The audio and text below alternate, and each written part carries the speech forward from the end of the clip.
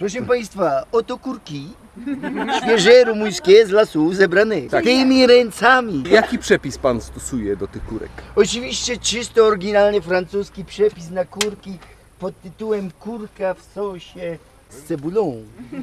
Bierzemy, bierzemy oliwę z oliwek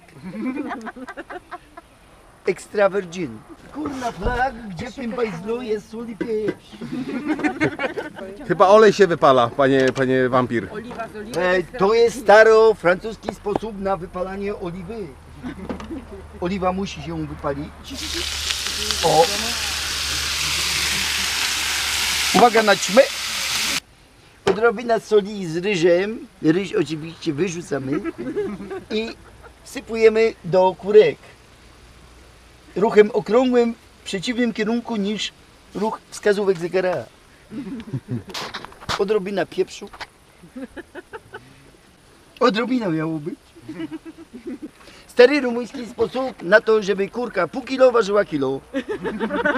Trzeba ją wrzucić do wody. Jak się napije, będzie na pewno cięższa. Potem wychodzi przy gotowaniu. Dobrze. Dobrze. I tak, panie wampir, jak dalej? Przepis?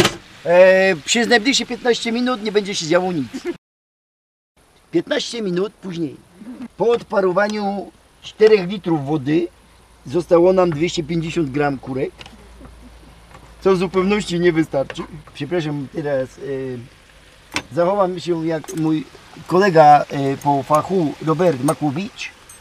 No i jak znajdę widelec, widelec, no i spróbujemy. Absolument delicious. 15 godzin później robimy sznycelki do kureczek, sznycelek ze świnki, jak każdy widzi, kupiony w sklepie. Solimy, pieprzymy, wrzucamy na patelnię i po 3 minutki z każdej strony podsmażamy sznycelka. Jeszcze trochę pieprzu, oj trochę miało.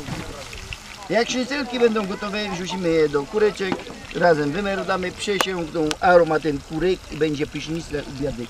Otwieramy śmietanę, musimy sprawdzić, ponieważ napisane w języku zakwasiena, to jest kwaśna śmietana. Mamy słodką do kawy, jak chcesz. O, dziękuję bardzo. Akcencik proszę. Dziękuję, uprzejmie. Śmietanę dolewam do kurek, potem to podgrzejemy i będzie pyszniaste. Dziękuję.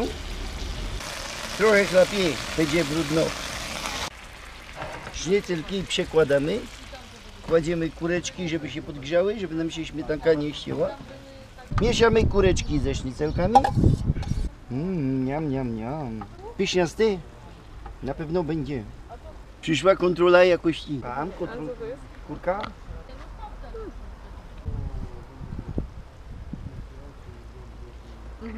Kontrola jakości nie dopuściła mięsa jeszcze do spożycia, ponieważ jest odrobinę za twarde. Reasumując, tak wygląda właśnie nasza potrawa sznycle w sosie kurkowym pychota a la Rumunia. Smacznego, a teraz idę jeść, papa. Sznycel raz. Sznycel. I teraz najważniejsza część całego jedzonka. Kurki. Tak. I tym optymistycznym sposobem potrawa gotowa. Żona, obiad. S'il vous plaît, mademoiselle. Nie, madame. Niom, niom, niom.